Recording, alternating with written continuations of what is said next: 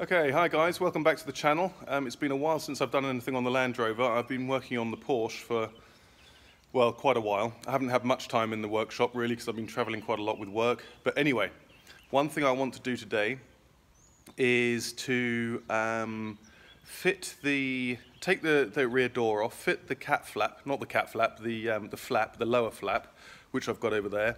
And I want to fit the chain holders, which I've got um, which some of you might remember me buying sort of, I don't know when that was, a year ago or, or six months ago, I can't really remember. So I'm going to remove the, the door, fit the, the flap, the lower flap, and line up the chains. So I've got to find all the bits first, but I'm pretty sure I know where they are. But uh, yeah, see how we get on. Okay, so just going under the Porsche and going to the back here. Um, those are the old sides which I took off um, and swapped them for the for the nicer ones. But behind there you can see I have the flap and somewhere down in that box or that box I have the chains and fittings. Okay, so that didn't take long. I found them pretty quickly. Um, I actually also found some some parts that I bought for the Porsche in there, which I didn't realise were in there, so I've put those on the shelf now. Um, but anyway, so there's the flap in all its glory. I don't know if I can get it all in. Um, I bought that Crikey. Uh, probably about 25 years ago I bought this, just after I got the got the got the Land Rover. Um, I, I wanted the one of the first thing I wanted to do is take the roof off and drive around in the summer. So I did that by by buying this, um, but uh, never really installed it properly. Um, so um, what it used to do is, I mean, I used to be very careful, but when it used to flap down, it used to it used to obviously rest on the um, on the tow hitch, which is why all those dents are there. Uh, but they're probably not all from me.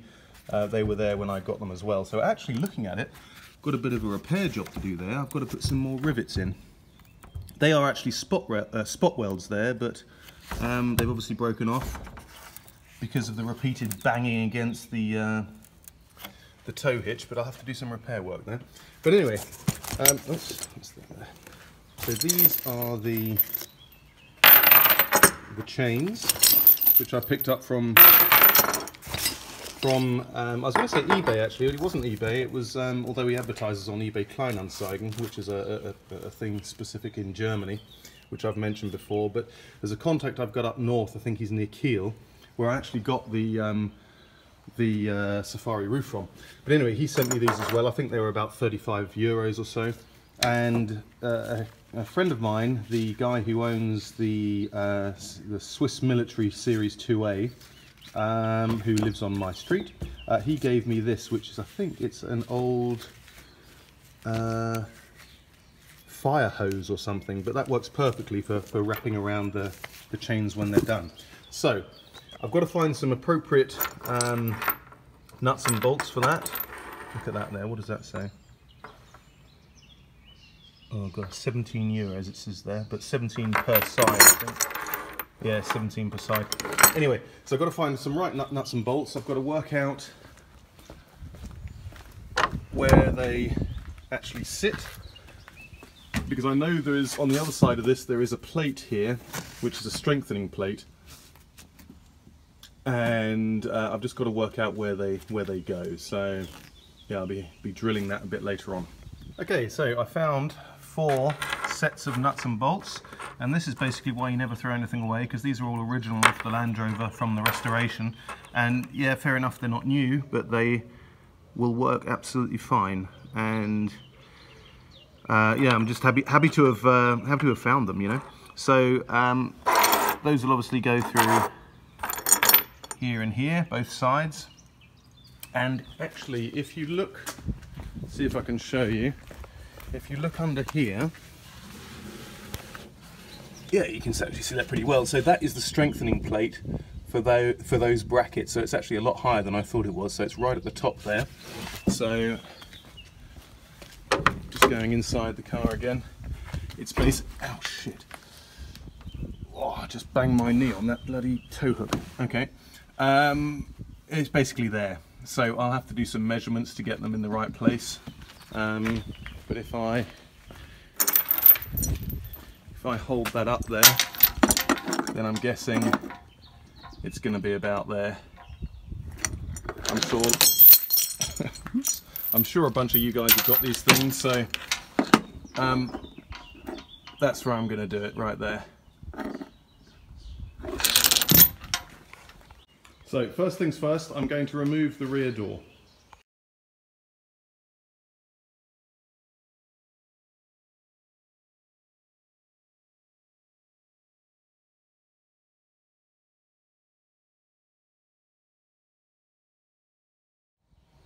Okay, so um, messing around there with the door and trying to get that stopper uh, out is a bit of a pain, um, but uh, I'm sure there are better ways of doing it. But uh, yeah, don't forget to take it off before you try and take the door off, which is what I did.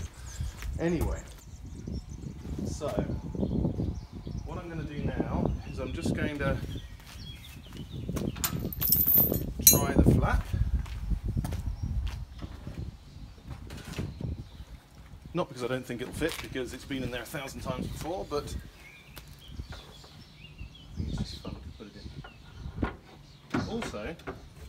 That's when I put these on uh, during the restoration. Finally I get to use them. So, that's how it looks, which I think is pretty cool. Obviously you can get the cat flap to it, but I haven't got that. But what I was, what I was going to do is just for a hot day is put that on and then also take the sides, uh, the door tops off I mean, um, just to make it a bit more airy. So I'm going to try that today. Okay, so I've just propped that up there just to make sure it's nice and flat. I've got it slightly leaning up a little bit because I just feel as though that's that's the way to do it but I reckon I'll probably fix it around that sort of level okay so I've made my marks and hoping it's about right in fact it's looking a bit low this end hmm. let me check again okay so I wasn't 100% sure that that was actually level there so I got a long piece of wood to light across the back and I levered it up a little bit, so I actually raised it, raised it up a little bit. Uh, I've now marked the um, the brackets there. What I've actually done is I've, I've just searched on online, and some of them are, are level, but some of them have turned them slightly down to follow the angle of the chain, which I found is more logical. So that's what I'm going to do. So I'm going to remove the flap, drill the holes, and fit the brackets.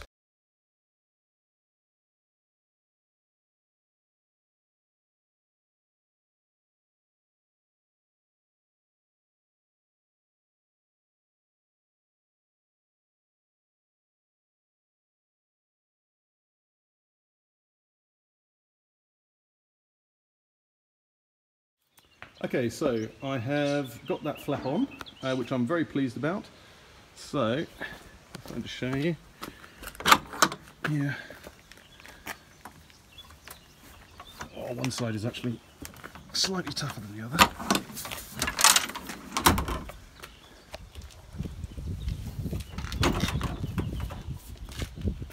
Really stable.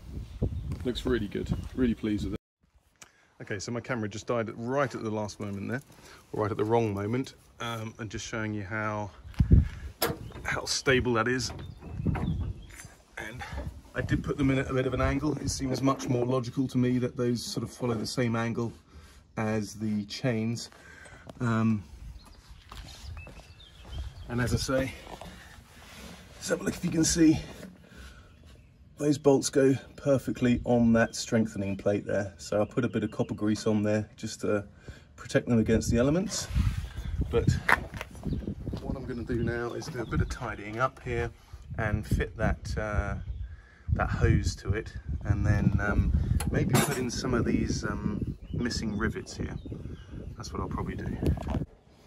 Okay, so um, I've just removed one of those old rivets there um, and clamped this down so I can straighten the, these, uh, these two pieces of metal up because um, it's like a sandwich just here. It clamps two pieces of metal and I found the right size rivets.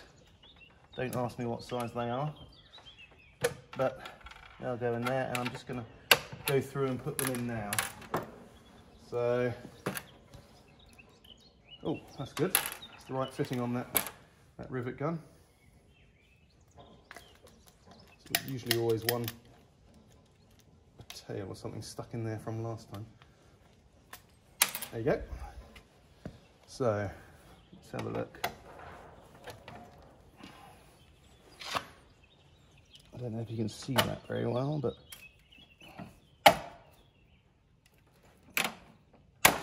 there we go.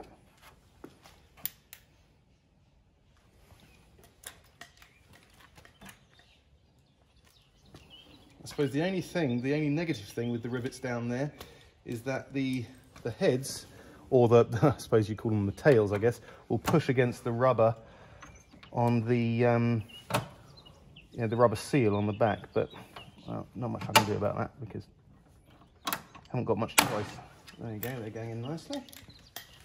Don't know why they're missing. I don't know why somebody would have bothered taking them out. Maybe they broke, I don't know, but uh, seems a bit strange. Okay.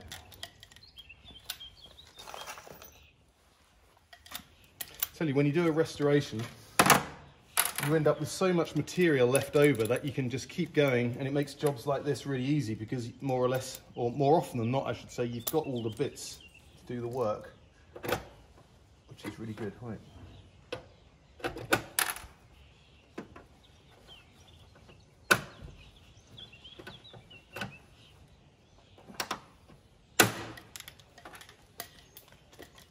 So I guess doing a, uh, a second restoration um, would go a lot more smoothly and a lot quicker, he says. Not that I've got one worked out, but I'm sure it'll happen at some point. As I say, I'm still looking for a 109 project, which I can either buy as or convert into a station wagon. That would be fantastic. Ouch. Okay. So, what about those two there? I think we're going to leave those for a minute. But there we are. That's looking a lot better. As I say, I've got to do these two as well, but essentially the spot welds, excuse me, are still in there, so I'd have to try and grind those out somehow or, or drill them. But uh, I've also, that's really bent, that thing. So I don't know, I'd have to have to try and straighten that out somehow. But anyway, I'm gonna leave it for now.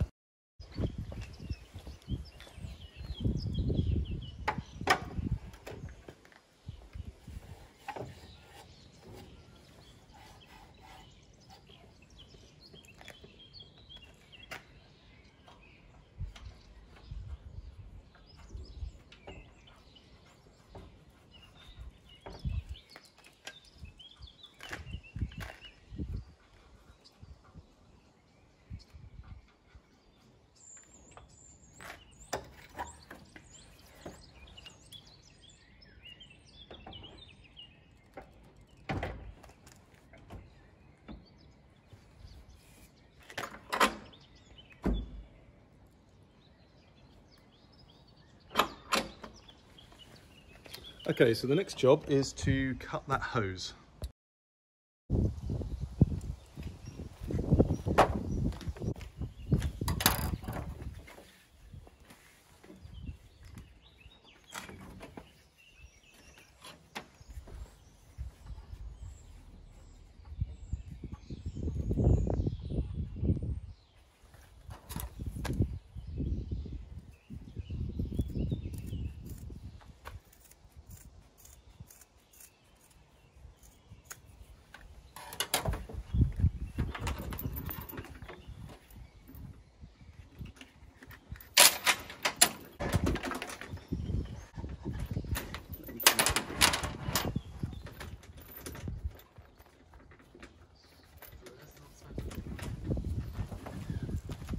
Okay, trying something else.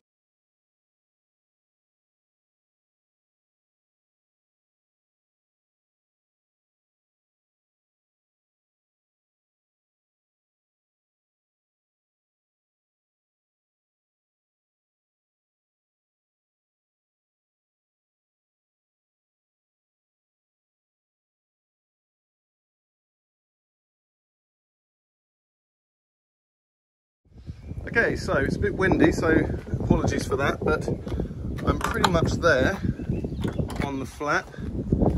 So, oh, there we go, yeah. So look at that, I'm really pleased with that, right? Bit of rubbish, but that is, oh man, I'm sitting on it now, and that is absolutely pleased. So, yeah, actually, I've got one last thing to do. Let me have a look. I think it's this one. Or have I got another one in there somewhere? I thought I had another one. Maybe this one. No, maybe it is this one. Look at this. The finishing touch.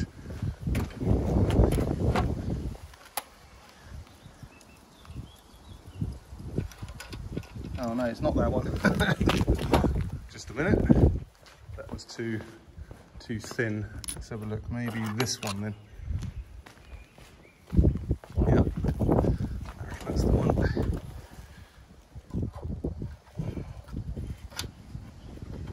Yep. Perfect. Oh, bums. Oh no, that, that scratches against the, uh, the chassis. So that isn't the one after all.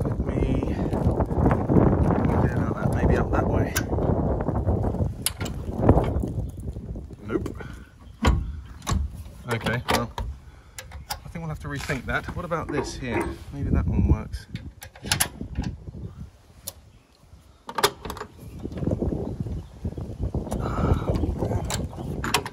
Okay, so none of those work.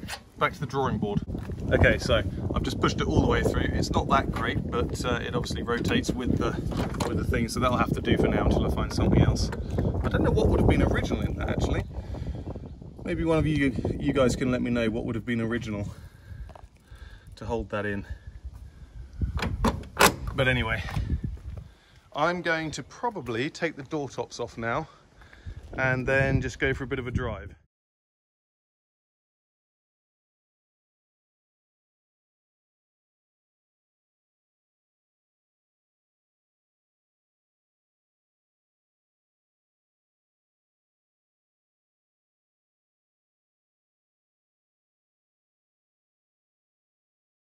Okay guys, so that's what it looks like with the door tops off and the rear door off just with a flap. It's obviously quite airy.